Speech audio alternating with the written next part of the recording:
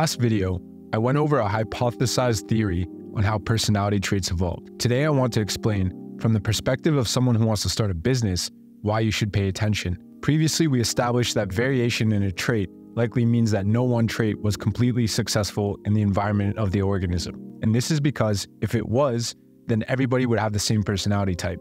Because of the constant changing environment and the constant changing selection pressures, both in terms of survival and ability to reproduce, no one personality type is the answer. Instead, all of them have benefits and drawbacks, and depending on the environment, some are more successful than others. But in studying animals, we've been able to theorize which type of environments cause certain personality types to strive and others to fail. And this is where marketing comes in. Similar to how in the natural world, we observe birds high in openness in low opportunity environments, taking to the skies in an exploratory manner to search for new opportunity, businesses can adopt campaigns that target exploratory individuals, those high in openness, when seeking to expand their customer base. By applying well crafted marketing campaigns tailored to attract a specific demographic of people possessing this desired trait, companies can unlock the door to higher returns and increased sales. Funny enough, some enterprises have already harnessed the power of targeted marketing through personality types, yielding impressive results, even though they don't fully understand the evolutionary basis for why it works. To gain a deeper understanding of the role of personality in marketing, we have to first assume the role of a consumer, something all of us already are in some way. As consumers, we often find ourselves standing at crossroads, facing the decision of selecting a specific product or brand amidst hundreds of alternatives all vying for our attention. So, what makes a consumer choose one brand over another? Is it just the quality of the product, or is it the values of the company? If we take a deeper look, it's much more complex than you'd think. Consumers use many different things when choosing a product to buy. And when products are similar, it becomes harder to choose based on quality or features alone. So, to make products stand out, marketers add non physical attributes to promote them. As a result, consumers learn to evaluate products not only based on physical features, but also on the non physical features. This is called segmentation.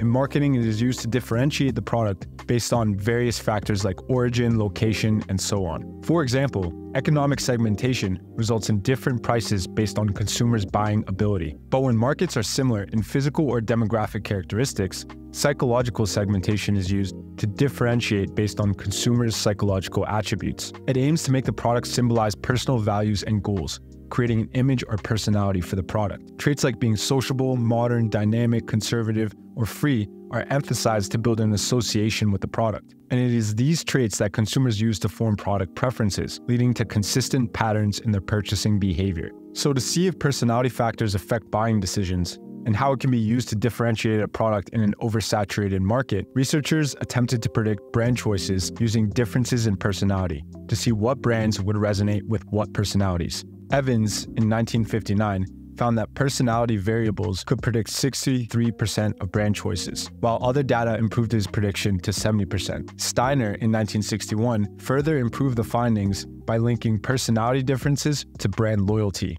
Most notably, Koponen discovered that personality traits were better at distinguishing between product users and non users than differentiating between brands among users. The evidence from these studies suggests the following points. Using regular personality tests doesn't strongly predict how people buy things. But when we create specific tests for buying behavior or have clear ideas about personality traits related to buying, the results improve. The connection between personality and buyer behavior changes depending on what we're studying the brand choice or loyalty. So, to test this out further, researcher Ruby Roy did an experiment using coffee. Coffee as a beverage has been around for a long time, but its consumption has very specific geographic and socioeconomic characteristics. And in recent years, a great deal of competition has flooded into the market using a mix of branding and packaging, along with a touch of values, to get consumers to buy their products. Of course, other versions of coffee have flooded the market as well, including instant coffee, which is what the study focused on.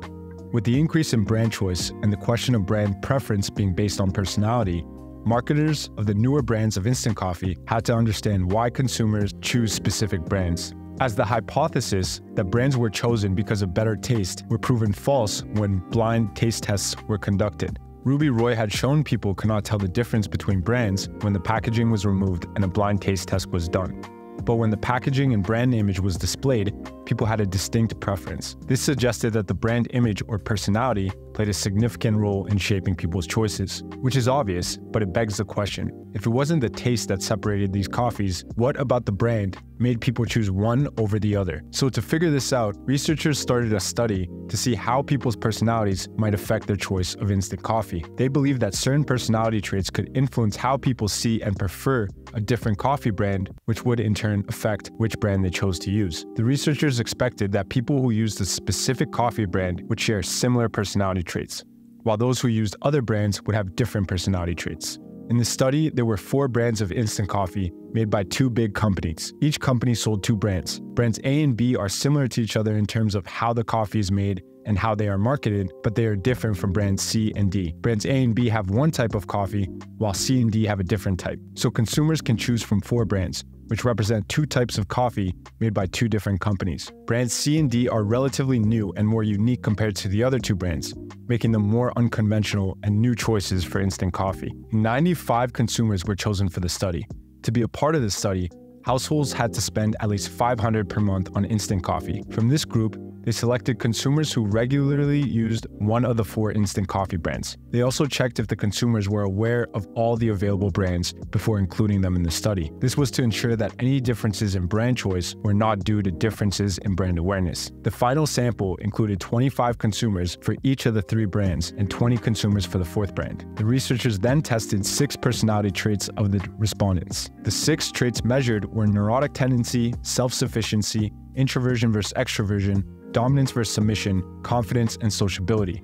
Since this is quite an old personality model, we will only focus on the two that are still widely accepted today extroversion and neuroticism. The main thing the researchers were interested in was whether people regularly used a specific brand of instant coffee. They relied on what the respondents considered regular use. Therefore, a consumer was considered a regular if they used one of the brands A, B, C, or D. They did not measure the intensity of use or the loyalty to the particular brand, but they assumed that regular use likely included some level of brand loyalty and high usage. When conducting the study, the researchers found when brands are positioned very similarly, meaning they are perceived as alike or comparable, the personality profiles of their users showed no significant differences. In simpler terms, in this study, there were no noticeable personality differences between users of brand A and B, as well as users of brand C and D. However, when comparing users of brand A and B with users of brand C and D, personality traits like neurotic tendency and introversion extroversion showed significant differences.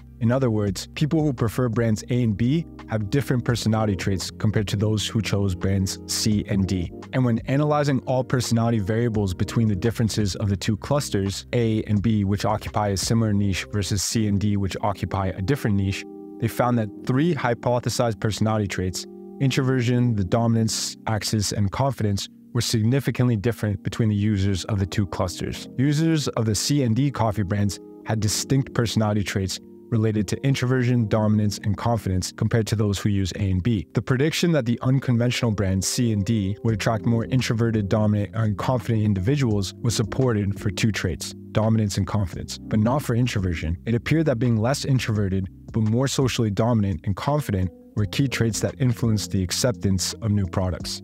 The differences in personality traits can be best understood through the composite trait called confidence, which includes social dependence, emotional stability, introversion, and dominance. Users of the unconventional brands tended to have these traits, suggesting they are more supportive and relevant to unconventional behavior. The data from this study supports the idea that personality traits are relevant in explaining consumer behavior. There were two key takeaways, however. First off, the study showed that psychological segmentation as a marketing tool especially when more traditional ways of dividing markets have been exhausted, is a very good strategy, as marketers can create product personalities that appeal to specific types of consumers who also have those personalities. This is important when there are similar brands competing in the market. Each brand in a group may get a fair share of customers based off how similar they are, but the actual share they get depends on how well they market themselves on the axioms of personality compared to others. Secondly, when products are different, as in cluster 1, the main determining factor of which one a customer will buy is dependent on the personality types. As Koponen pointed out, personality traits were better at distinguishing between product users and non users than between different brand users of the same product. In the future, this is something I will explore in more depth, but currently it sets the basis for the next video. We've explored the evolution of different personality types. We looked into the current research on how personality differences affect buying decision, and in the third and final piece of the series,